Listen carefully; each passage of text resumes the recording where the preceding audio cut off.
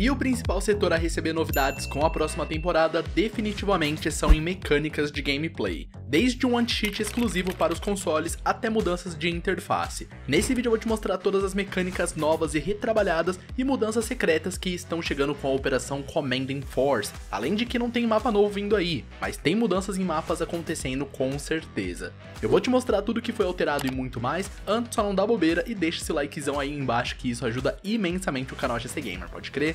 Tamo junto, partiu!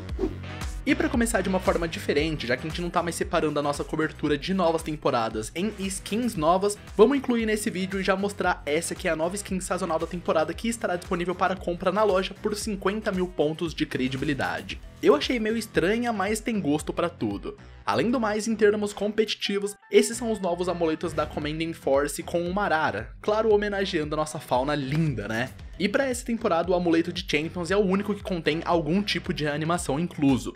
E já que a gente está falando de novidades menores, no dia 7 de março, com o lançamento da Commanding Force, alguns operadores ficarão mais baratos, como a Yana e o Oryx, custando 10 mil pontos de credibilidade ou 240 créditos R6 cada. O Flores saindo por 15 mil de credibilidade ou 360 créditos R6, e a Azami por 20 mil de credibilidade ou 480 créditos R6. Então se você não tem todos os operadores desbloqueados ainda, já fica de olho nesses daqui. Na real, se você não tem todos os operadores desbloqueados nessa temporada, ficará um pouquinho mais fácil para você, já que uma das novidades grandes dessa temporada é o sistema de desafios de especialidade, onde você pode completar desafios durante a sua jogatina com cada classe ou especialidade propriamente dita de operadores, onde cada especialidade possui três desafios para você completar aquela classe e receber prêmios por isso, que para você que é novato vai ser basicamente um operador novo daquela classe totalmente gratuito. Então como são 12 especialidades, você pode receber até 12 operadores de graça de cada classe respectivamente. E é legal que o jogo ele vai te dar algumas dicas de como se sair bem jogando com cada uma dessas classes diferenciadas.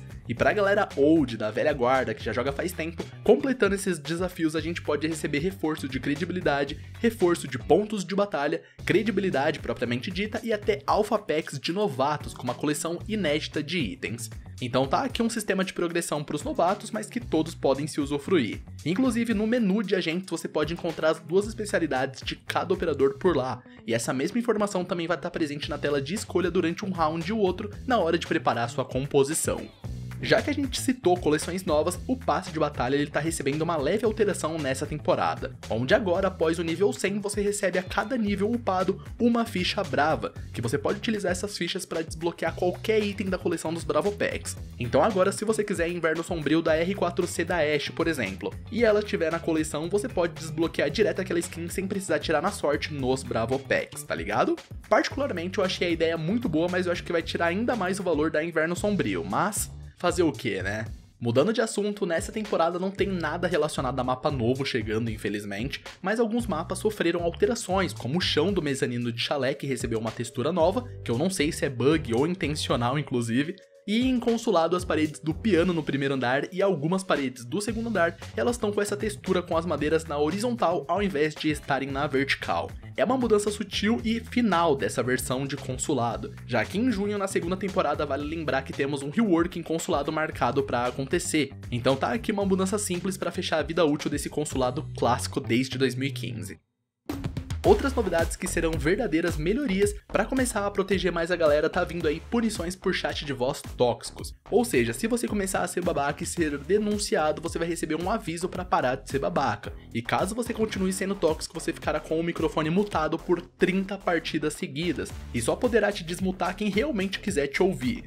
De primeiro momento, esse é um mecanismo voltado a punir os tóxicos extremos, mas depois de um tempo vai começar a punir geral que passar do limite. E falando de coisa grande que esperamos por anos, no patch de meia temporada da Season, em abril, será lançado o Mouse Trap, que nada mais é que um anti-cheat exclusivo dos consoles. Esse mouse trap, como ele já entrega, ele é voltado a punir a galera dos adaptadores de mouse e teclado, que inclusive eu tinha até comentado, mas vale a pena ver de novo. Onde mais existem adaptadores é no yellow dos consoles com os famosos Champions GMT, se é que você me entende. E a partir de abril, essa galera do mouse e teclado não vai tomar ban, porque isso seria fácil demais de acordo com a Ubisoft. E o pessoal que acabou usando adaptador durante algumas partidas só para testar e ver como funcionava, elas seriam banidas injustamente. Então o que a Ubisoft vai fazer é adicionar um input lag no seu adaptador, fazendo com que você consiga jogar normalmente com o seu controle e a partir do momento que você plugar o adaptador, você começa a ter um delay e um atraso no seu tempo de resposta. E quanto mais partidas jogadas, maior o delay. E para quem já testou, falou que cara, é delay de 1 a 2 segundos segundos.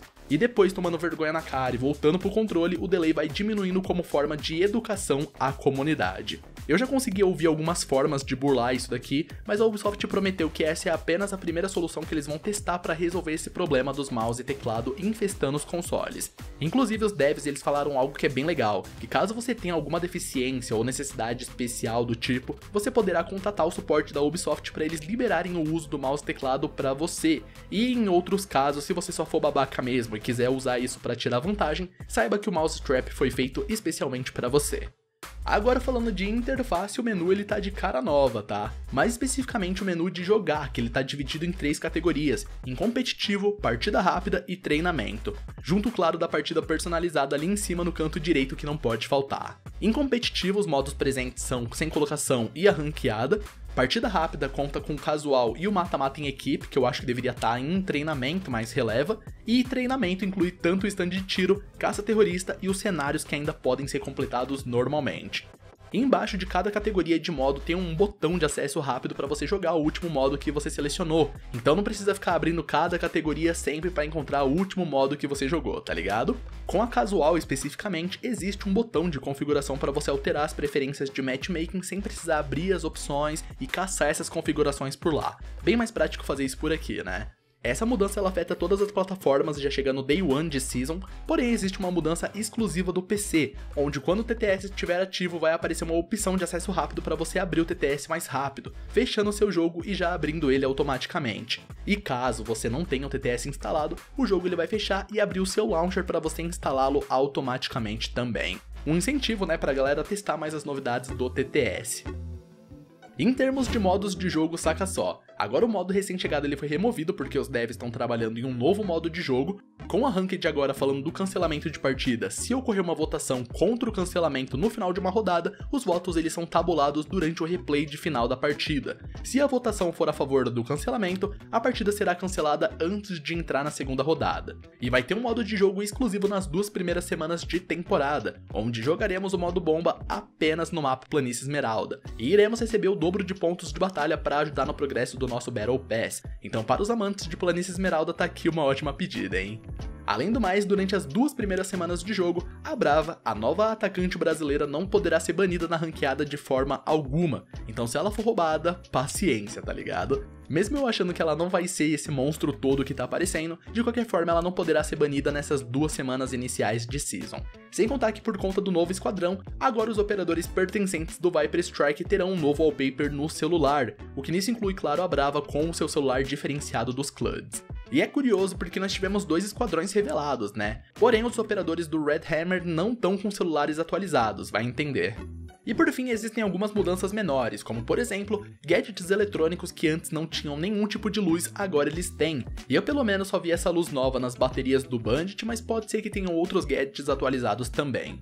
Agora na tela de escolha na hora de customizar o seu operador, você vai notar que cada acessório de arma tem o seu ícone próprio. Cada mira e bocal, cada cabo, todos esses acessórios eles têm um ícone próprio para agilizar a sua vida quando você estiver customizando o seu kit. Agora ao começar uma partida personalizada, a tecla de Start é a letra B e não mais a S como era antes. E nos consoles eu vou ficar devendo essa informação para vocês, peço perdão. Além do mais, o respawn atacante ele foi melhorado de acordo com a Ubisoft, o guia de agentes vai aparecer no modo replay também para você ter mais informações completas mesmo durante o replay, e por fim a pose dos operadores foi atualizada para parecer algo mais natural e realista, e todos os operadores terão essa pose atualizada para ficar algo mais crível. E especialmente falando no menu, o Ace tá de pose nova tirando selfie, metendo aquela marra que a gente sabe que ele tem. E sendo bem sincero, combinou absurdos com a identidade do Ace. E resumidamente, essas são todas as mudanças secretas, entre aspas, e mecânicas novas e retrabalhadas chegando com a operação Commanding Force, que só lembrando chega dia 7 de março, daqui praticamente uma semaninha. Então tá chegando e eu tenho certeza que tem galera aí contando os dias para que isso aconteça para começar aquele em busca do diamante de respeito, né? Já comenta aí abaixo se você gostou dessas mudanças, o que tá faltando chegar no Seed pra você e se você tá animado para essa nova temporada. Comenta aí abaixo, eu quero muito saber a sua opinião, viu? Mas ó, esse vídeo vai ficando por aqui, porém pega e compartilha com a rapaziada para ajudar no crescimento do canal, pode crer? Eu me chamo Gabriel Cerqueira e esse foi mais um vídeo completo do canal sempre pra vocês. Espero muito poder contar com você por aqui no meu próximo vídeo e até mais galera, fiquem com Deus.